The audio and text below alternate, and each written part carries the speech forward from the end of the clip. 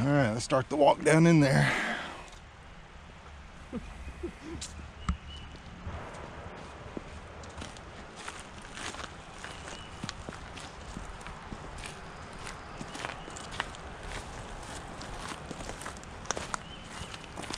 Nice wide open trail.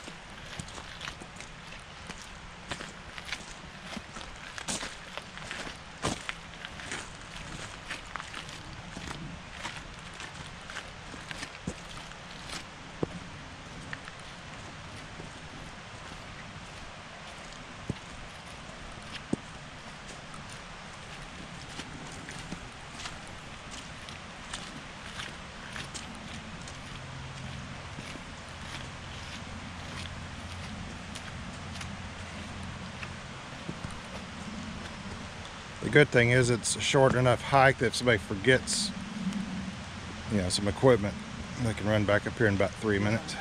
With the little duty chains up in the Yeah.